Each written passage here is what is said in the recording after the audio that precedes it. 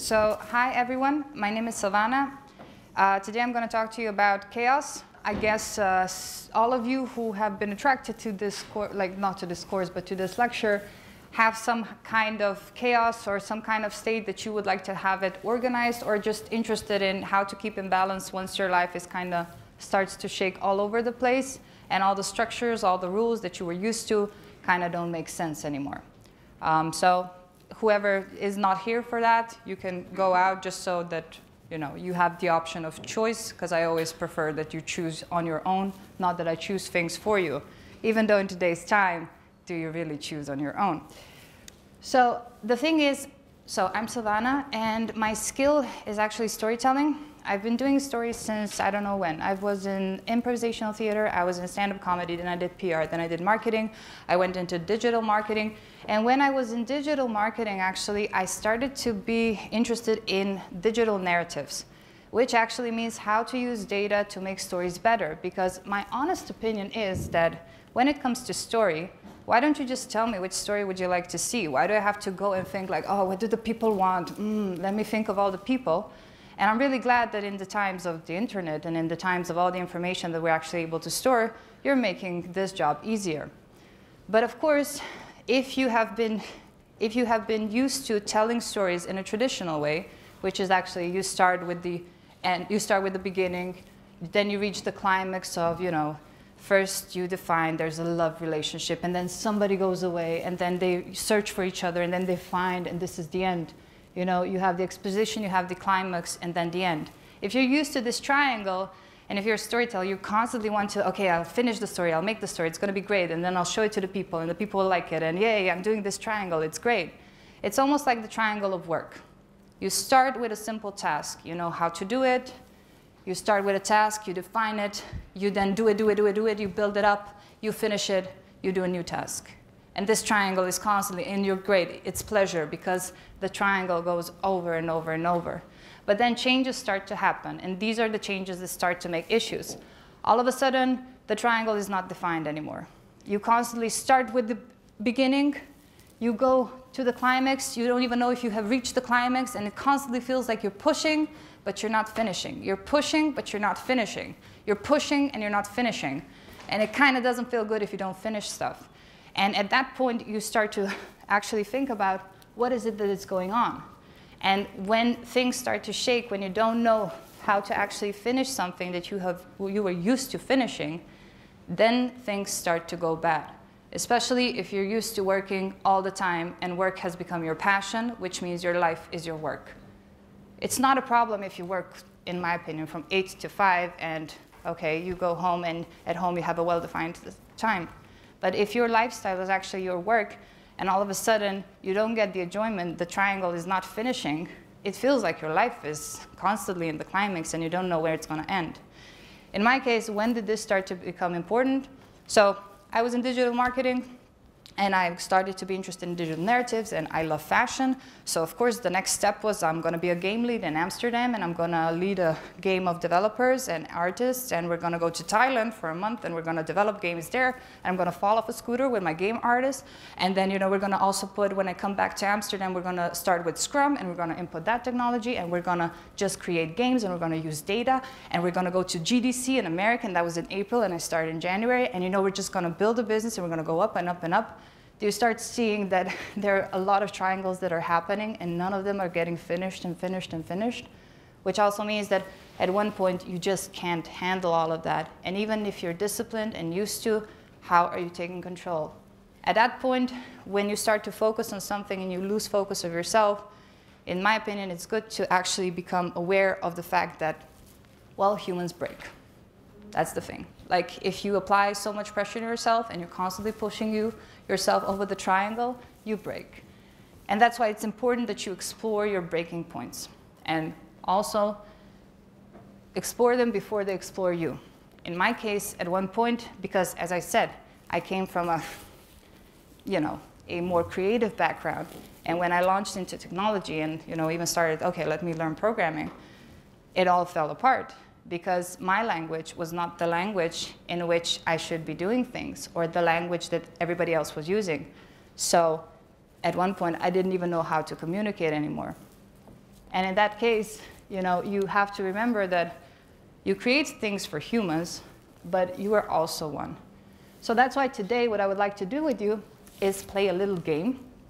Because once you are all over the place, and let's say like this, you have decompartmentalized yourself on small pieces that are now lying all over the floor, how are you going to assemble them back together into something that functions, into something that communicates to all your other people in the team or to other people that are important in your life, and actually that this is going to be a structure that you like? How are you going to pull those pieces back together? And let's play a game because I'm not a professional therapist, psychologist, whatever. I'm nothing of that. So because it's a game, you can play it and then you can forget about it. Um, and it's a simple game, which means that the first thing I would like you to ask is everybody, please close your eyes. And I'm looking at all of you, so do please close your eyes. And just relax. And just think, now we're at level zero. Relax, close your eyes, just breathe in. I want to hear you breathing. Breathe in and breathe out. Breathe in and breathe out. Currently, we're at your home base. Your home base is you. Just for the first thing we would like to do is just sense the human that you are. Breathe in and breathe out. Breathe in and breathe out. Breathe in, breathe out. Breathe in, breathe out. Feel your fingers on your arms, on your hands. Feel your body. Feel where you're sitting right now. Just feel your whole body how it is your legs, your knees. Feel your hair. Just feel yourself. Feel yourself in a way that you are aware that you are a part of the environment and that at the same time, you are at your home base. This is your safe space. Now, when we feel the safe space, let's breathe in and breathe out. Breathe in and breathe out. Really slowly breathe in. Now, really slowly breathe out. Breathe in and breathe out. Now ask yourself Hello, me. What's my name? Breathe in and breathe out. Breathe in and breathe out. Now ask yourself How am I feeling? Breathe in, breathe out. Just feel how are you feeling. Breathe in, breathe out. Now ask yourself, what is the work I as a human do? Breathe in, breathe out. Breathe in and breathe out. Take a really big breathe in and now breathe out. Ask yourself, why am I here? Breathe in and breathe out. Breathe in and breathe out. Breathe in and breathe out. Now ask yourself, how can I help me? Breathe in Breathe out. Breathe in. Breathe out. Now I want you to extend your arms and hug yourself. And I'm looking at you, so I really want you to hug yourself. And when you feel yourself hugging yourself, breathe in and breathe out. And just feel that when you breathe in, you expand, and when you breathe out, you expand in. Breathe in, breathe out. Breathe in, breathe out. Breathe in, breathe out. On the count of three, we will leave your home base. We will leave your safe space, and we will return back to this environment that is the world. we will, when I count to three, we will open our eyes and we'll, we, we will be back in this environment. So, first, breathe in, breathe out, breathe in, breathe out. Three, two, one. You can open your eyes now. Welcome back. I hope home space was fun because now we're going to the world. Because everybody tells me, like, oh, you should tell them to communicate. And I'm like, oh, yeah, okay, I'll just do a game. And everybody wants to play a game because it's a multiplayer game. Uh, now we're going to the level other. And first, I want you to, you know, rotate your head. Now, turn your head left. You can turn your head right. Now, find a human. And I want you to sit next to the human. Yeah, if you don't have a human, find a human and sit next to the human. Yeah, and you have to be close. Yeah, move around. Let's do it. You can breathe in, you can breathe out. Yes, yes. Basic sorting. I love it. Do everybody has to have a partner. So if you don't, let's come together right now. Okay? We're all sorted. I don't know how you choose, but that's how we do it. Um, now I want you to ask the human just turn to the human, look into the face of the human, and ask, How are you feeling? And the other human should ask also. Yeah? Okay, great. Now ask the human. Okay, you see, it's going well. I love the energy. Now ask the human, what is the work that you as a human do? And try, don't give me like half an hour of LinkedIn, just, you know, try to be specific and quick. Like try to do it, even if it feels embarrassing, do it. Did we exchange information? Do we all know what you do? Like what do you do? Creative counselor. Great. I'm a student still. okay, so now task six, and let's just focus a bit. Just, you know, let's do the suspense, because this is like, this is the question. Now turn to the human and ask the human, why are you here? And answer whatever you feel like. Yeah, yeah, guys, let's do it. Demo diviso, demo. Yeah. No? Okay.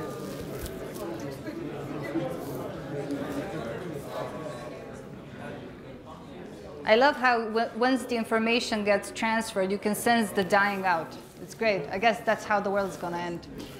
Task seven. Now ask the human, how can I help you? Okay, and now comes my favorite one, hug. Let's hug it out, hug it out. Demo, hug it out, hug it out. Trust me, you're here, hug it. Come on, hug it out. Yes, come together. Hug. yes, see? Yes, I want this transmission of energy because when you don't know stuff, at least the energy sorts itself out. Okay, do you, now we're kind of relaxed. So if I would be really cruel, I would say, okay, now just explore everybody. Just do it. Go to everyone. Do the same mission. Just do it. Explore everyone. I, you know, but I have, I have just 14 minutes left. Actually, I have 10 minutes, nine minutes left. So that would be quite an impossible task. And also, you know, the thing is that this would be the best way for me to actually realize what is the story that I want to do. Like I would just go to everyone, I would just ask you, you know, I would call you, I would come home, I would send you an email, you know, how are you doing? Would you like to respond to a few questions? I don't know. Um, so it's not, a, it's not a thing to do. And the logic behind why we were doing this, the logic behind this is mindfulness. Why is mindfulness important? As soon as you start to organize yourself because things are not the way they should be and you're breaking apart, you start to search for a logic, for a structure that you're going to apply to yourself. But if you just push things onto yourself, you are, in my opinion, boxy because you're just, you know, you're chat, but I'm just going to solve this like this. I'm going to do it. Okay, right now, I don't care. It's just a solution. Just do this, do this, do this, run it, run it, run it, run it. Oh, shit, it breaks again. Not a good thing. That's why, you know, here comes Nessie. And Nessie is like this mindfulness, like just be open and creative. Look at things from a different perspective. Just, you know, explore. Just put different things onto it, put different categories. Don't just, you know, you're not what you are, you can be so much else. But honestly, where do you feel you're currently? Like, are you more into this? I just, you know, just need this thing. I'm just going to solve it like this. Or more like, oh, let me explore everything. Everybody tell me everything. I just want to be everywhere. Because the thing is, too much of everything is bad. And I've, you know, experienced this. It, it hurts. And when you're deciding how you're going to organize all the things around or whatever you're organizing currently and trying to put it in order, you do have a choice. You can be a boxy or you can be a Nessie, or you can be in between. In my opinion, if you're too much boxy, that leads to depression. That's my opinion. It's a game. Like if I would run it, if you would search and you would try to categorize and you would be constantly coming to the same thing, you're boxy and you're depressed and it's painful and you're inwards and it's hard and you stop communicating. On the other side, if you're too much Nessie, you go and you want to you know, explore everyone, help everyone, solve everything, put everything on yourself. Just do it. Oh, I'm going to do it. I am the Messiah. Here I come. yeah. so this is here we are. That's a burnout. And the, the sad thing about a burnout is once Nessie goes there, also Boxy comes because they love to be together. They're like, ah, yeah, it's a party. Yeah, you're going to cry all day. and the thing is, once we're here, once you feel that, you know, when you look at the scale and the scale is this, and you feel that the scale has tipped, honestly, you can try first to mend it yourself. You know, stack overflow suggestions. Body, get more sleep, seven hours or more. Hydration, stop coffee, stop green tea, do water. Healthy food, remove alcohol, even though it feels like you're saving problems. Remove drugs, although it feels like you're relaxed you know, smoking, you know, I always said try not to because it's your choice, I say. And exercise, get your body into shape. Okay, we're still feeling the pressure, we're still kind of left or right. We go to the heart. Talk honestly with yourself, what we did the first time, so the exploration of yourself. Still kind of, you can't order it? Write a journal, just journal to start structuring your thoughts. Okay, still can't order it? Start talking honestly, and this is the main part honesty with your partner, with your friends, with your family. If the talks go for too long, and I'm saying that you're starting to talk for months and months, you're not ordering it. They can't help, they're gonna get a burnout. Then acknowledge things take time as a human just so that you relax, because if you're here, you're still not ordering it. And then explore your breaking points. Start to observe. Are you running into issues? Are you getting aggressive attacks? Are you getting panic attacks? Are you having, you know, fights at work, fights at home, fights everywhere? And then start reaching out to community for help because at this point you have started to narrow it down and it still doesn't make sense. And then we start to going into the mind because once we have realized it's somewhere back because we have done level zero, we have done level other, and still it's somewhere back start working with experts. And with that, I mean life coaches, professional therapists, and psychoanalysis. When I broke my head, I did it all. I don't have shame. It's like I went because I am not the master of this, somebody else is, and you should also get paid for it. And then invest in education because if it's a problem at work or something that's not just communication, it might be that you have not, like the, the skills that are needed, you don't have them. We, like technology has gone crazy overboard, so it might not be in you, Oh, no. And then maybe in the meantime, just so that you still keep sane and have fun, do something creative or different because it's a process. It's a long process. In my sense, it took two years and it's still taking. Then invest in meaningful relationship. This is something you do already in advance because it's important that you start to talk because at one point you will not know what you're talking about. And then the most important, just embrace yourself in this moment. Mindfulness is actually embracing yourself for what has happened to you, that it's different and that you cannot have control of it. And once you realize that something is changing and you have changed, that you just embrace it. That you just take yourself for what you are and then embrace that change happens and brings a whole set of new experiences. In my case, I'm currently now continuing studying. I'm a digital humanities KU Leuven. I'm talking with people from this faculty, with Bart Zulpan, with Alia, Erika, with Valeria. Like I'm talking with so many people because somebody has the information that I don't have, and that's why it's so important to reach out. So to, you know, all in all, humans break, explore your breaking points before they explore you. You create things for humans, you are also one. This is so important. I'm currently doing values in software design because you should be having into an account that we're doing this for humans, so also take care of yourself. And to forget yourself, sometimes, you know, you must first be yourself. That's why return to your home base. Return to your home space.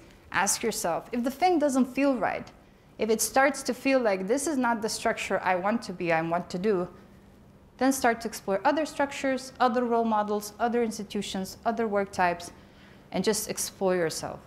Of course, don't go into indefinite. Put yourself on a timeline. Surround yourself with people that will tell you you might be running into issues. And while at it, and this is, I think, that's why I'm so glad that I'm here, because otherwise I would never talk about it. While you're at it, at your exploration of yourself, what feels right when things don't feel right, and going towards the fact that every story has a happy ending, it's like the natural logic, or else you die. Um, you know, acknowledge that while you're at it, just surround yourself with community. At one point, when depression hits, when burnout hits, these are dark, dark, dark times. And what helps is that there are people who actually show you that they really love you. They will be there for you, they stand for you, and they give you the much needed support that even to yourself you can do. All the professionals in the world sometimes can give you a lot of things, but when you come back to the community and just throw some of the problems you have there and they help you out, it just makes you feel like, yes, this is great. I'll continue. And I think in the end, this is reality. Like, no matter where you come, we're all learn how we structure things from the beginning, and it's so simple. But even the most structured things in life have that gray zone where it's like, ah, oh, you're the master of everything, here you go. Go into this, and let's see if you make it out alive. And as I said, every story has a happy ending. It's a triangle with ending, like with beginning, climax, and end. So I think also all of your stories have happy endings, but you have to explore what type of a climax you actually like and how do you like to finish things and keep on finishing. So basically, thank you. I love you all. Thank you so much for sharing my experience, and I hope you had fun.